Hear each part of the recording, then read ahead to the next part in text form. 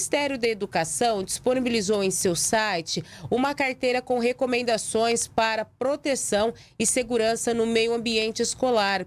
O material informa ainda canais de denúncia para registrar possíveis casos de violência. Em Três Lagoas, apesar de supostas ameaças, a semana passada foi considerada tranquila. Vamos acompanhar a reportagem.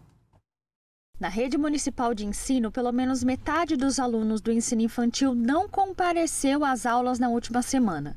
Já entre os mais velhos, até o nono ano, quase não houve ausências, de acordo com a Secretaria Municipal de Educação. Em algumas unidades foram colocados cartazes e bexigas brancas para fortalecer a mensagem de que as escolas realmente estavam seguras. Em relação à cartilha disponibilizada pelo Ministério da Educação, trata-se de um material 100% digital que fornece orientações para que redes e instituições de ensino possam manter o ambiente acadêmico mais seguro para estudantes e colaboradores da escola. As informações vão desde ter em mãos o mapeamento dos serviços de segurança pública, como Polícia Militar, Civil e guardas municipais, até criar espaços e processos inclusivos de acolhimento nas instituições de ensino. A elaboração e a divulgação da cartilha fazem parte da Operação Escola Segura, que está em vigor desde o dia 6 de abril, quando começaram a surgir novas ameaças de ataque às escolas em todo o Brasil.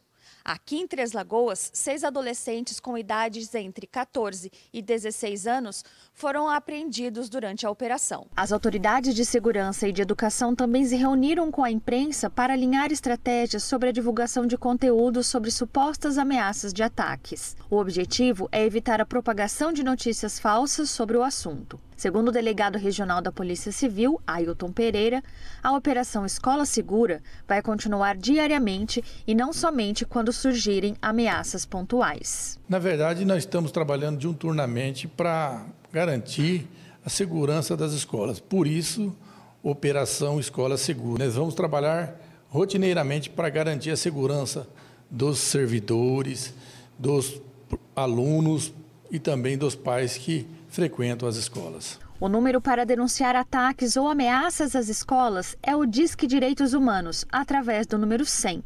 O Ministério dos Direitos Humanos e da Cidadania disponibilizou também outro número de WhatsApp que é exclusivo para esta finalidade. É o número 61 996110100. Nele é possível mandar mensagens de texto, áudios, fotos, vídeos e as denúncias podem ser feitas de forma anônima. Nas informações, precisa constar o local da ameaça, os dados da pessoa suspeita, se for possível, e de onde partiu a ameaça, ou seja, redes sociais, sites, o nome do usuário e o seu endereço eletrônico na internet.